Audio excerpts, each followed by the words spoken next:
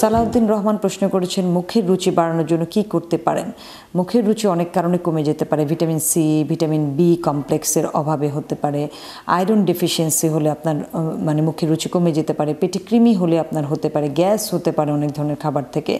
So এইসব আহ, কোন কারণটি আপনার সাথে আছে সেটা খেয়াল করে সেই অনুযায়ী আপনাকে আমাকে সাপ্লিমেন্ট করতে হবে বা ফুডের তালিকাটা তখন সেভাবে দিতে হবে। ইভেন লাইফস্টাইলের বিষয় আছে, অনেক বেশি স্ট্রেস হলে আপনার মুখের রুচি কমে যেতে পারে।